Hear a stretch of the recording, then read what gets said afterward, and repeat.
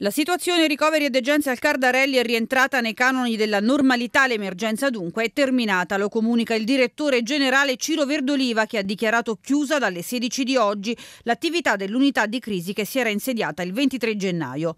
I nostri protocolli, le azioni straordinarie messe in campo, il sostegno proattivo della regione, il super impegno dei cardarelliani, ribadisce il manager, ci hanno permesso di rientrare nei canoni della normalità in meno di 48 ore. Si conferma che tutte le attività chirurgiche sono state ripristinate e procedono senza alcun intoppo. Insomma, emergenza finita e pazienti ricoverati ai propri posti da rianimazione ai vari reparti con tempi di attesa normalizzati.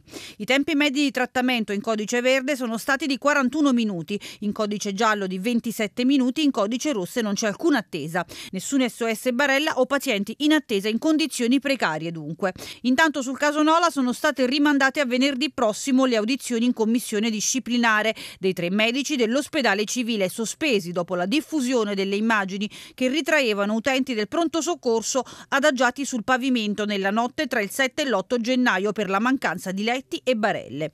Le audizioni per il direttore De Stefano e i responsabili del pronto soccorso si terranno venerdì, quando i tre medici riferiranno alla disciplinare del proprio operato durante le fasi concitate dell'emergenza, quando nel pronto soccorso in poche ore arrivarono 265 persone due delle quali furono adagiate sul pavimento per ricevere le prime cure.